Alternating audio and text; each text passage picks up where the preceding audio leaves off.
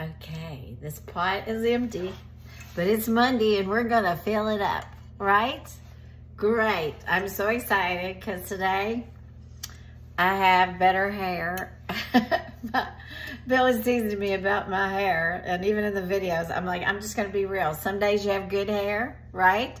Some days you have bold hair. Some days I have hot tub hair. Sometimes I must have I don't care hair because it's all over the place. But you know, we laugh at that. I used to be so concerned about those things. And it's nice to look nice and I try to look good for my husband and for people. But also, you know, when you're at home, sometimes we're just real, right? I'm cooking. I don't always have the hair did up real nice. Okay, so today I am going to try to stick with Bill's uh, new thing, you know, no bread, no processed foods, and no sugar. And it's really, you know, you, you don't even realize like these things are in your diet necessarily or how much of them until you start eliminating them, right? But one thing you can have is lean red meat. Uh, I like to buy organic hamburgers. Some people are like, why do you spend the money on that? Because it's just me and him and we can and we just go ahead and do. Um, I just really concerned about everything they put in our food today and things we don't ask for, things we don't want, things we don't need. So I got some hamburger in here and I'm gonna try to do better about letting you see what I'm actually doing here. I'm gonna add some onion. I just think onion adds so much flavor, right? I love um, the smell of onions and I just love onions. So I'm gonna take, hmm, this is probably, uh, what, quarter of a big, big one, half of a little one.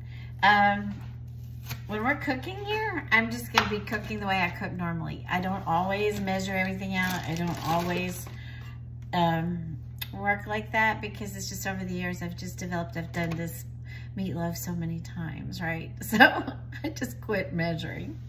So I'm gonna chop this up real fine. Hope you guys had a great uh, day and weekend and uh, get in the swing of this week. And we are moving into fall weather now. Kentucky has gotten a little chilly out there.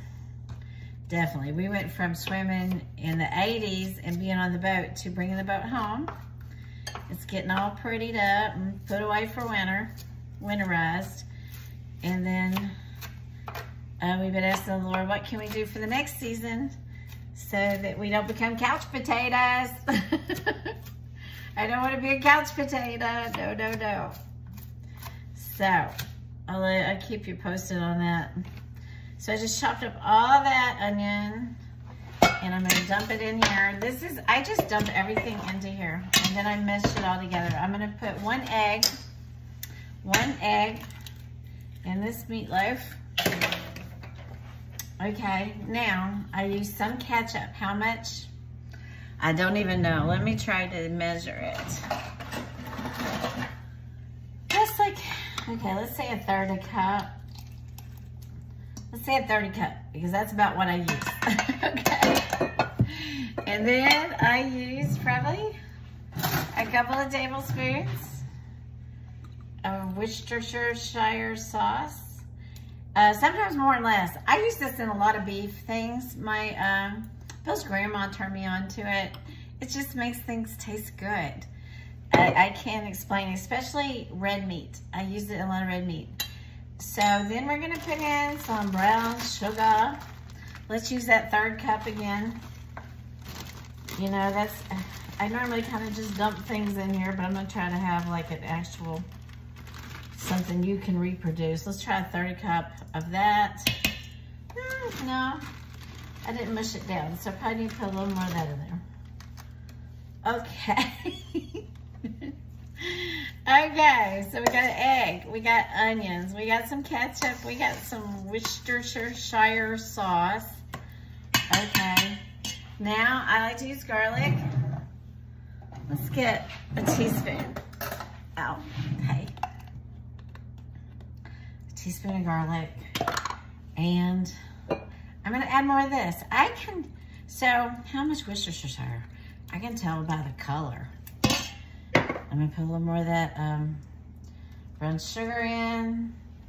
So I've done it, I'm kind of using my eyes to see. I also use a little onion powder and a little garlic salt or garlic powder. Don't use much salt, but a little. And then let me grab the pepper. I love pepper. Me and Bill eat a lot of pepper. I don't know. I've heard good and bad about pepper, but we do like it. The thing, I want my food to have flavor. I don't want it to be a raw slab of hamburger just cooked up. And that's meatloaf. I just, I won't eat it. So right now, I've got all these ingredients and I washed my hands, so I'm gonna just take and squish all this together. You know, one thing the Lord has made me a platform on social media and I'm a digital creator. That means I create things and people respond to it. And a lot of things I just share that other people have created. And if it touches me, I share it with you. And then sometimes the Lord told me he's going to give me some encouragement, things to encourage you, th things to make you think. Because I'm 63. I'm a little bit further down the road than a lot of you. I would like to think that by showing you an easy recipe, cooking's not that hard, and you can make something yummy pretty easy. And also by sharing the word of God with you, I can help you divert a lot of things that just I didn't know. I knew the word of God sometimes, but I didn't know how to use it. I knew sometimes I didn't even know the word of God. So when the enemy lied to me, I believed him. So we're gonna spend some time together eating, cooking, trying to be healthy. These are breadcrumbs, and I'm gonna put some of them, how many, how much, Glenda? Let's try a 30 cup. Let's try two thirds a cup, okay? I can tell by how it feels. And I'm gonna mix all that. What you're gonna come to is a consistency and texture, and you'll be able to just tell. Now, one thing that I like to add too, and you may or may not have it. Let me wash my hands.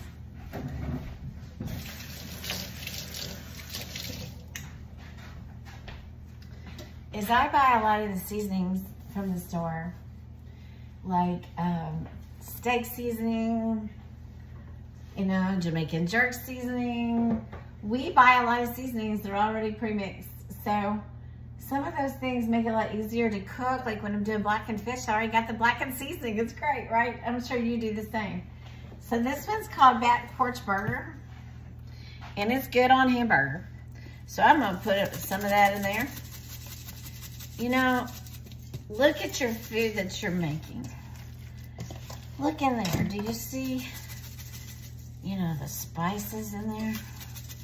Okay, this feels kind of wet still, so I'm gonna add a little more. A little more of those breadcrumbs. You don't want it wet and soggy meatloaf. No. You want it to be nice. And when it bakes, it'll make the whole house smell good. And then on the top of it, I take um, I take some um, ketchup, brown sugar, and just whip it. And a little Worcestershire sauce. And I just whip it. And I just whip it good. And it makes a nice, and I put on the last like 10 minutes of baking. And it just caramelizes into it. So now as you've been seeing, I've been adding, you know, I probably end up adding a cup to this instead of like a third cup. It's so hard to measure because I just make stuff. And I can tell by the way it feels. It's starting to feel less mushy. It's coming together. I'm gonna put it in this bowl over here. Okay. Right there. Right there. And I'm gonna make it into my little meatloaf shape. Now by the time I get it to this point, I can usually tell if it's the right consistency. See how nice? It just makes the prettiest little meatloaf. Okay, I'm gonna cover that with foil. I'm gonna put it in the oven Mm, probably 40 minutes, sometimes an hour. Depends on how thick you make it. I used a pound of hamburger and I get it just nice and evened out like that. We're gonna put it in the oven.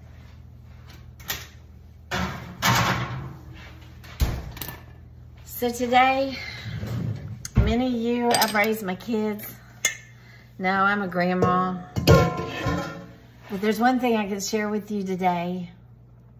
Make sure whatever words you're speaking over your children or to your children are words of life. Okay? You are the person today because someone spoke life into you. You may be the depressed, unproductive person because people did not speak life into you. And you may be walking in things that just because you never knew, you never had the chance to know the truth. You never had the chance to learn. But you can stop right now and repent if you're saying things you shouldn't be saying over your children. You know, you can be in circles sometime and like, oh, there's Jimmy, little Jimmy Joe, and he's such a rebel, and he's always been a rebel, and he's like four, okay? And he just doesn't want to mind. He's just not a good, he just is bad. Don't say that. Children are children. They're learning by watching us. We have to speak life. Do not speak curses over your children.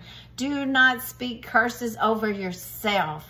I am saying this because we have lived it. Bill used to have a bad mouth. I had a bad mouth. I used to put seasons through life where I just talked like a sailor and then wonder why nothing in my life was going right. I was cursing my life with my words. Bill was the same way. He didn't learn how to do that. He went down a wrong path before he knew Christ. And when he first come to know Christ, before he knew that life and death is in the tongue, and you will eat the fruit thereof. You will eat that fruit of your words. So if you're speaking cursing, you know, his pressure washer used to tear up years ago and he'd get mad and he'd kick it and cuss it and everything else. And the Lord said one day, he said, you're cursing the very thing that you need. And he kept breaking. You, God can't bless what you're cursing. So let's not curse our very selves or our children, right? Catch yourself. Are you saying stupid things? Are you saying I'm maybe just kidding? I used to do that. Oh, ha, ha, that's kidding. No, it's not funny. Don't say negative things about yourself, especially not about your children. The Lord told me he's going to hold me accountable for every word I speak over my children, to my children. And I've repented if I ever said bad things. And I repent all the time because you know what? I want to be, I want to be a good parent. I want to speak life. Even today, I want to speak life over my adult children. Let's eat the fruit of good words. They bring life or death every single day, every single choice to your family, to your lineage. Speak life.